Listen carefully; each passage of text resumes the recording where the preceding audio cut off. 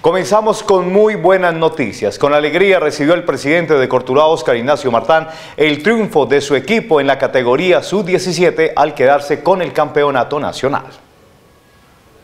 La primera dedicatoria de este triunfo por parte de Oscar Ignacio Martán es un acto de fe a Dios y a todos quienes creyeron desde el principio que sí era posible. La primera es a Dios, a María Auxiliadora, que es la patrona de nosotros los tulueños, y fundamentalmente a mi mamá. Mi mamá es un ser muy especial, que hoy no está, eh, se lo digo de todo corazón, pero especialmente, eh, eh, aunque esto es de toda la familia cortulueña, cuando yo hablo de toda la familia cortulueña es los hinchas de Cortuluá, los socios de Cortuluá, los directivos de Cortuluá, la parte administrativa, la parte deportiva, los cuerpos técnicos, pero fundamentalmente Oscar Arturo, él es el presidente ejecutivo, él se tomó con corazón el liderazgo de esta institución, eh, uno lidera muchas cosas, pero, pero le agradezco el esfuerzo de todos y cada uno de ustedes. La verdad que de corazón eh, eh, lo hacen sentir a uno grande, lo hacen sentir orgulloso de que se realiza un gran trabajo. Este es una, una, meta, un objetivo más. Ya lo hicimos con la sub-15, perdón, con la sub-20 en el 2015. Hoy logramos algo que no, no nos lo soñábamos, que, que nos lo empezamos a, imaginar este año. y esos sueños cuando, cuando los, queremos soñar de verdad los podemos hacer realidad. Los sueños no paran y ahora vienen otros objetivos para cosechar más triunfos.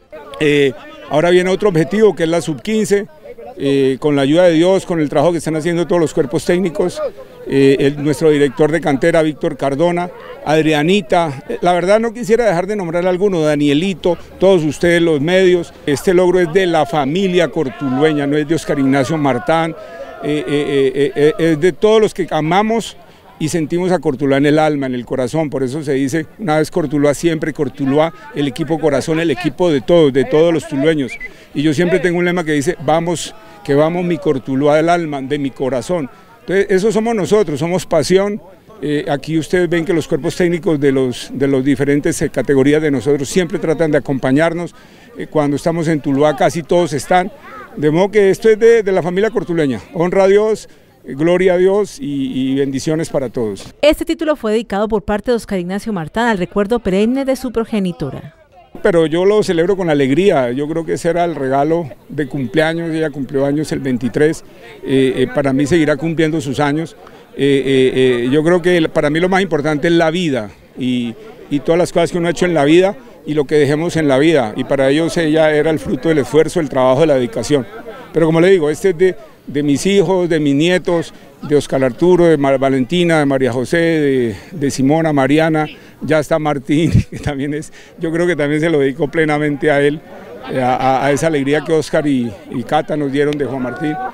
Vuelve, le digo, esto es una familia eh, eh, y lo importante es que sigamos siendo familia más compenetrada, más unida y los logros van a venir porque somos muy dedicados a esto. El camino sigue adelante y desde ya el equipo en pleno se prepara para nuevos retos.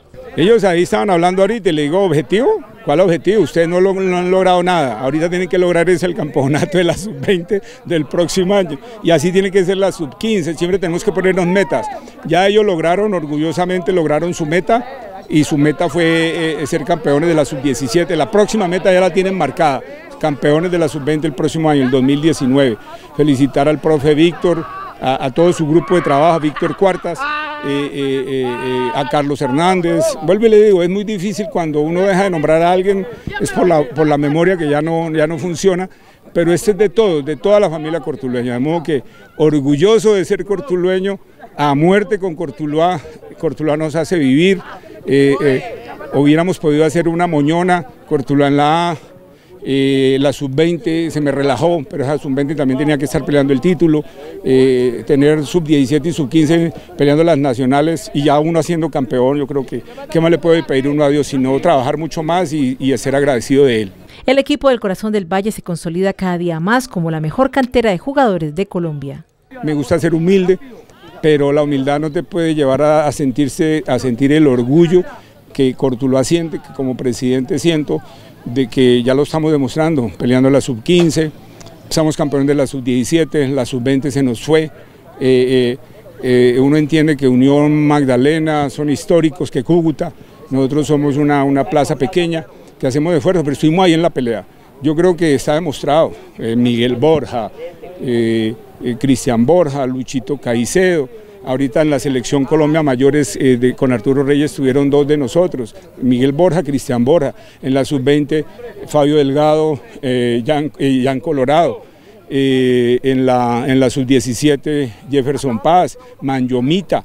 Y esperemos que nombren rápido el director técnico de la, de la sub-15 y seguramente, como me lo decía el profe Cárdenas, con mucho cariño y mucho respeto, en las elecciones ya no se van a ver cinco de Nacional, cinco del Envigado, cinco del Cali, no que van a ver cinco de Cortuluá en la sub-17, en la sub-15 sub y ojalá en la sub-20. Un triunfo que llena de orgullo tulueño a todos en el corazón del Valle.